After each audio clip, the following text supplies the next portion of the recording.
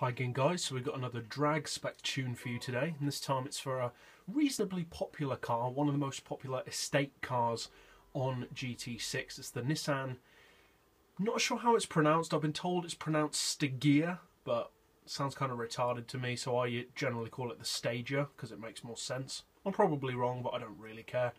So you want racing soft tyres as usual. For suspension, we've got a ride height on 120 front and rear, Springs at 10 on the front, 450 on the back. Dampers are 7 to 1 and then on extension 7 7. Anti-roll likewise on 7. Camber and toe neutral to get as much tyre contact to the ground as possible. For the gearbox we've got an auto setting of 230. For the individual gears I don't think I've adjusted those, no I don't think so, and a final drive of 3.9. For the diff, maximum initial torque for that blistering launch, high acceleration and low braking sensitivity. We've got a torque split of 35-65. For power, we've got all the upgrades, and uh, I will be using NOS. I know some of you don't like to, but I will be using NOS, as always with all of my drag tunes, and you definitely want weight loss on this car. Traction control is turned off, obviously, and I will be using an automatic gearbox. Again, I know most drag racers prefer manual, or most if not all, but uh, I like to use an auto just to show, you know, this is the worst that that uh, the, the, the, that the car can be. So if you use a manual, you can only be quicker, really. So we're going up against another tune for this same car. It's actually uh, going to be going up against my top speed tune for this car, which I like the Mazda yesterday. I haven't actually released yet. But uh, yeah, so we'll be going on 35.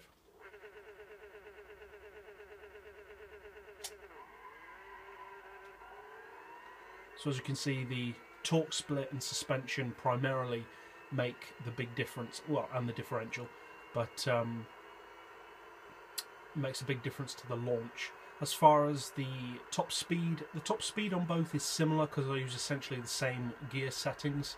Uh, it's mainly the suspension and the diff which are different um, because obviously with these suspension settings they don't really lead to it being a very good high speed uh, handling car because it's just not designed for that. As far as its specs, slightly quicker off the line than the Mazda yesterday. It does 0 to 60 in 1.6 seconds, which still for a wagon is seriously rapid. It does 0 to 100 in 3.6 0 to 150 in 7.8, which is actually quicker than the Mazda yesterday, but considering this has virtually 100 horsepower more, that's not too surprising.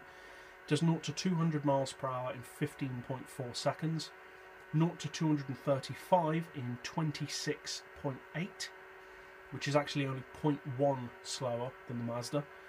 Uh, it does the 400 metres or the quarter mile in 8.6, which is the same as the Mazda yesterday. It does 1,000 metres in 16 seconds. It does the 1,600 metres or the standing mile in 22.2.